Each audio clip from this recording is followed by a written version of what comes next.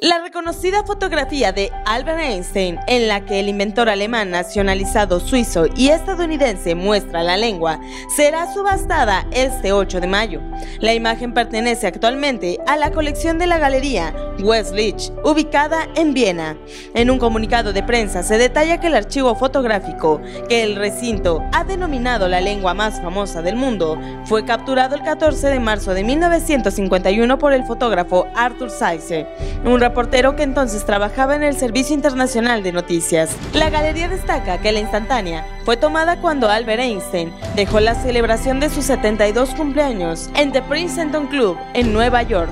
Le sacó la lengua a un grupo de paparazzis, quien siguió al célebre físico.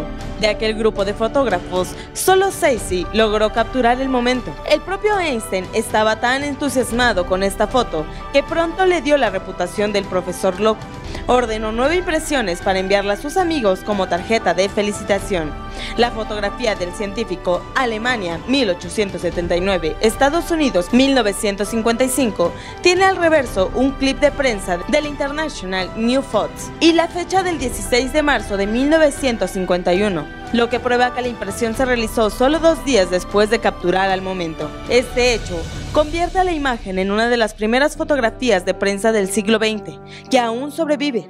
Aunque tendrá un precio inicial de 8 mil euros, se estima que su valor ascienda a un monto de entre 15 a 18 mil euros.